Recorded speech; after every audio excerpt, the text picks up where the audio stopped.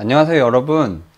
지난 시간에 LED 컵받침을 만들었잖아요 근데 이제 LED 컵받침을 만들었는데 프로세싱으로 제어하거나 아니면 시리얼 모니터로 제어하면은 여러분들이 컴퓨터가 필요하고 그렇게 되면은 실제 그 컵받침을 자유롭게 갖고 다니실 수가 없잖아요 근데 지금 이번 시간에는 바로 그 LED 컵받침을 스마트폰으로 제어하도록 그리고 이 LED 컵받침을 여러분들이 다른 곳에서 자유롭게 이동시켜서 제어할 수 있도록 해보도록 하겠습니다. 그래서 예전에 레이저건 장난감처럼 아두이노랑 그리고 앱 인벤터 2를 이용해서 한번 진행해 보도록 하겠습니다. 그래서 안드로이드 스마트폰을 이용해서 이 LED 컵받침을 한번 제어해 보려고 하는데요. 한번 실제 구동되는 것을 한번 보고 시작하도록 하겠습니다. 지금 보시면 지금 앱을 실행한 화면인데요. 제가 이미 연결을 해놨고요. 그 상태에서 드래그, 터치를 드래그 해가지고 여러분들이 자유롭게 색을 바꾸실 수가 있어요. 이 칼라 테이블은 여러분들이 지난 시간에 프로세싱에서 이용했던 그 칼라 테이블이랑 동일한 거고요. 단지 다른 점을 이렇게 손으로 클릭해서 제어할 수 있고 그리고 지금 LED 컵받침 같은 경우에도 블루투스랑 건전지를 연결했기 때문에 여러분들이 자유롭게 이동을 하실 수가 있어요. 따라서 이번 시간은 이 안드로이드 스마트폰과 LED 컵받침을 연결해서 제어하는 것을 한번 해보도록 하겠습니다. 재료는 마찬가지로 이제 블루투스랑 9V 건전지가 필요하고요.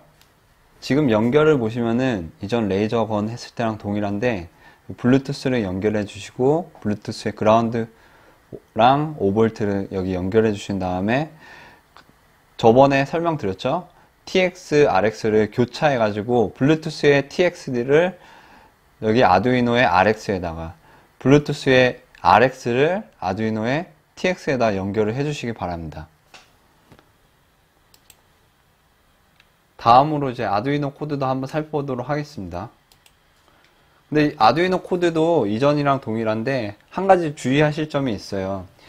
이전 시간에도 0번과 1번 사용할 때 주의하라고 했는데 좀 더 자세히 설명드리면은 여러분들이 업로드를 하시잖아요. 그 업로드를 아두이노를 작성해서 만약에 업로드를 하신다면은 만약에 이전에 아두이노 코드가 그대로 있으신 분들은 업로드 하실 필요가 없지만 지금 이제 다시 처음부터 하시는 분들은 이렇게 아두이노 코드를 작성을 하고 업로드를 하실 거예요. 근데 업로드를 하실 때 지금 블루투스가 0과 1번에 연결된 상태에서 USB에 연결해서 아두이노로 업로드를 하시면 안 돼요. 왜냐면은 그 저번에 설명드렸다시피 USB와 그 0번과 1번이 서로 연결되어 있기 때문에 그 아두이노 코드를 업로드 할 때 오늘 그 데이터가 0과 1번을 통해서 전송이 돼서 만약의 경우에는 그 블루투스를 통해서 다른 데로 전송이 돼서 다른 기기를 망가뜨릴 수 있는 물론 그런 확률은 상당히 적지만 그런 경우도 발생을 할 수가 있어요. 그래서 업로드를 하실 때는 0번과 1번에 연결되어 있는 것을 빼주신 다음에 아두이노로 연결을 하고요. 그 다음에 업로드가 완료됐다고 하면은 그때 블루투스를 연결해 주시기 바랍니다. 그 다음에 이제 아두이노가 준비가 됐다고 이제 가정을 하고요. 그 다음에 우리가 이제 스마트폰에 해당되는 거 앱을 앱 인벤터 2를 이용해서 작성해 보도록 하겠습니다. 여기 이제 주소가 나오는데 여러분들이 그 전에도 했던 것처럼 이 주소를 이동하시면은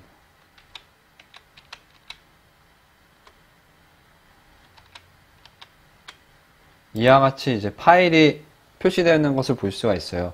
이 파일도 이제 앱 인벤터 파일이고요. 그래서 RGB, LED, coaster, AIA라고 되는데 클릭하시고 여기 raw를 클릭하시면 다운로드 하실 수 있고요. 그 다음에 여러분들이 이제 이 주소를 입력해서 예전에도 한 번 했던 앱 인벤터 2 페이지로 이제 이동합니다. 마찬가지로 여기서 import project AIA from my computer 선택해 주시고 방금 다운로드한 AIA 파일을 불러와 주시고요. 불러온 다음에 또 이제 app provide QR code for APK 클릭하신 다음에 그 바코드 QR 코드 바코드가 아니죠 QR 코드죠 QR 코드가 뜰 때까지 기다려 주신 다음에 QR 코드가 뜨면은 여러분들이 가지고 있는 QR 리더기로 이 앱을 여기 QR 코드를 찍어서 다운로드 해 주시기 바랍니다. 그러면 이제 앱이 다운로드가 되고요. 블록 한번 설명해 드리도록 하겠습니다. 여기 화면에 blocks 누르면은 표시가 되는 이제 프로그래밍 어떤 식으로 프로그래밍 했는지 한번 살펴보도록 하겠습니다. 한번 웹브라우저 이동해서 여기 App Inventor 들어왔죠. 먼저 Blocks 넘어가기 전에 한번 간단히 다시 살펴보면은 이전에 레이저건 장난감 했던 그 앱이랑 동일해요. 단지 다른 다른 것은 지금 여기에 그림이 그려져 있죠. 그리고 또 하나 다른 점은 이전에는 이 화면이 가로 모드였는데 여기서는 세로 모드로 되었는데 여기 스크린 보시면은 영어로 되어 있어서 잘 모르시는 분들이 있는데 Screen Orientation이라고 적혀 있는 게 있어요. Portrait라고 되어 있는데 이게 이제 세로, 이게 가로, 그리고 이제 자동으로 인식하는 거 이게 표시가 되어 있습니다. 그래서 여러분들이 원하는 것을 설정해서 가로 모드, 세로 모드를 설정할 수 있고요. 그 다음에 보시면은 다른 거는 동일해요. 여기 lip Connect, Disconnect 그리고 캔버스도 있죠. 근데 캔버스가 다른 점이 여기 이미지가 있는데 여기 캔버스 쪽 보시면은 Background Image가 있어요. 그래서 여기 하얀색 부분을 클릭해 주시면은 표시가 돼요. 그래서 None으로 해주셔서 이전에 여러분들이 터치할 때 했던 것처럼 화면에 비워둘 수도 있고요. 이렇게 컬러 테이블 선택해서 선택해 주실 수도 있고 지금 같은 경우에는 제가 이제 컬러 테이블을 업로드 해놨기 때문에 표시가 되는데 여러분들이 더 이쁜 아니면 더 좋은 컬러 테이블 이미지가 있다면은 아니면은 컬러 테이블 말고도 다른 이미지를 여기다 표시하고 싶다면은 여기서 Upload File 해서 그 이미지 파일을 업로드 해주시면 돼요. 살펴보시면 되고 다음에 이제 프로그래밍을 한번 살펴보시면요. 레이저건 장난감 했을 때랑 동일해요. 여기도 Before Picking 다시 한번 설명드리면은 lip Connect가 바로 이제 리스트 목록 쪽 선택하는 화면 관련된 거죠. 그래서 선택 버튼을 눌렀을 때 발생하는 거. 그 다음에 After Picking이 이제 선, 선택하고 난 뒤에 그래서 여기 선택하기 전에는 바로 이제 블루투스 목록을 이제 채워 놓고 사용자한테 표시하는 거라고 설명드렸죠.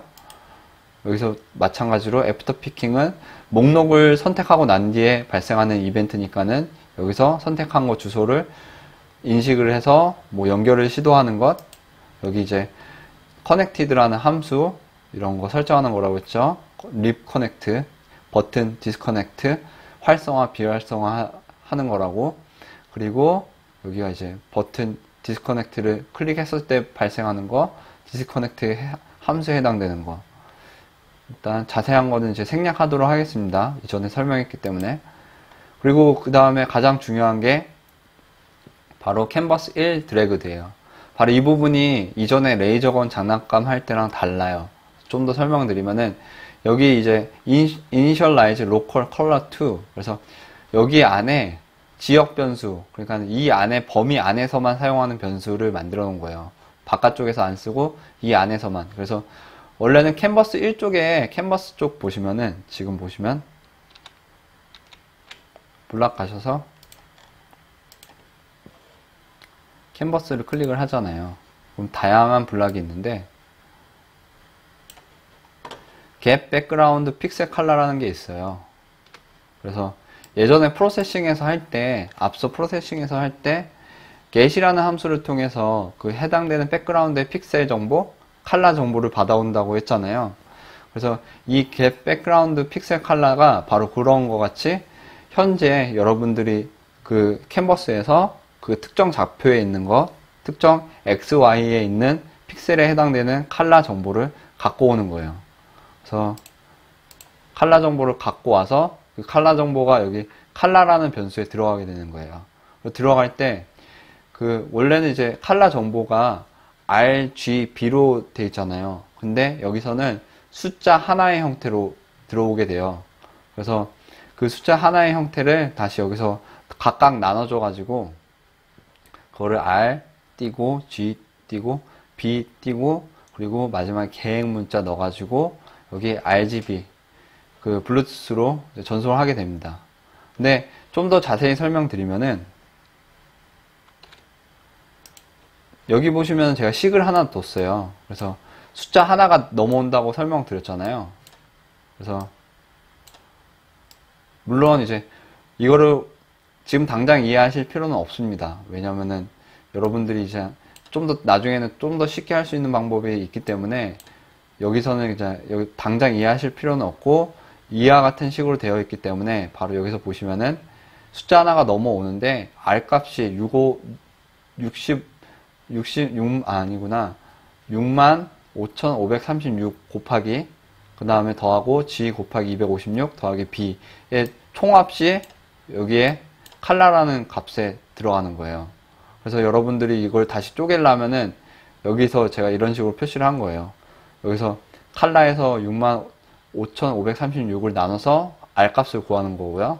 여기서 다시 65,536 나머지 값에서 나누는 나머지 값이죠. 그냥 65,536 나눈 나머지 값을 여기 modulo of가 나머지 값이에요. 나머지 값에서 다시 256을 나눈 값. 그리고 얘는 마찬가지로 B blue는 이 값에서 바로 그냥 256의 나머지 값, 나눈 나머지 값, 그것을 구한 거예요. 그래서 이렇게 표시했다고만 이해하시면 돼요. 이렇게 표시했다고 그만 이해하시면 되고, 지금 바로 이 식들을 이해하실 필요는 없고, 아무튼 이런 여기서 R, G, B 값을 이런 수학 공식으로 추출해서 이렇게 모아서 전송한다고만 이해하시면 됩니다. 여기는 이제 Send Message는 이전에도 봤죠. 블루투스로 이제 전송하는 거니까 이제 넘어가도록 하겠습니다. 그럼 한번 실제 앱을 이제 한번 실행해서 확인해 보도록 하겠습니다. 지금 앱을 실행을 했고요. 이전에 레이저건 장난감에서 했던 것처럼 커넥트를 누르시면은 블루투스가 나오죠. 지금 그때 사용했던 블루투스를 그대로 사용했기 때문에 똑같은 이름으로 되어 있고요. 제가 눌러오면 잠시 기다리면은 연결이 됩니다. 지금 연결이 됐습니다. 그래서 제가 터치를 해서 드래그를 하면은 색깔이 이렇게 하나씩 내려가면서 한번 볼게요. 표시가 이제 바뀌죠. 이번 시간, 지난 시간에 이어서 LED 컵 받침을 스마트폰에 연결하는 것을 한번 해보았는데요. 여러분들이 좀 더 이것을 개발해가지고 좀더 낫게 만들 수가 있어요. 예를 들어가지고 지금 같은 경우에는 앱에서 칼라 테이블을 표시를 해가지고 여러분들이 선택을 하도록 되어 있었는데 단순히 그게 아니라 버튼을 여러 개 추가를 해가지고 어떤 버튼은 이런 기능, 어떤 버튼은 이런 기능 이렇게 추가를 할 수가 있, 죠 그래서 만약에 자동 모드 이런 거 설정하면은 얘가 자동으로 색깔을 바꿔주는 거 그리고 예전에 가로등 배웠던 것처럼 깜빡깜빡거리는 모드 하면 이제 버튼을 눌러주면은 얘가 빛이 사그라들었다 커졌다 사그라들었다 커졌다 이런 식으로도 할 수 있죠. 그리고 지금 여기서는 아두이노 우노라는 것을 사용을 했는데 아두이노 쪽에 보면은 다양한 모델이 존재를 하고 있어요. 그래서 아두이노 미니나 아두이노 나노 같은 경우에는 여러분 손가락 한 마디 정도 그러니까 엄청 작은 거죠? 그 정도 크기로 되어 있어요 그래서 아예 그거 같은 경우에는 그 블루투스랑 아두이노랑 하고 컵받침을 잘 설계를 하면은 컵받침 안에다가 그 넣을 수가 있는데 여러분들이 아예 컵받침 안에다가 다 넣어가지고 실제 진짜 제대로 된 그 LED 컵받침을 만드실 수가 있어요. 그래서 좀 더 다양한 것을 여러분 스스로 한번 해보시기 바랍니다. 이번 시간은 여기서 마치도록 하겠습니다. 감사합니다.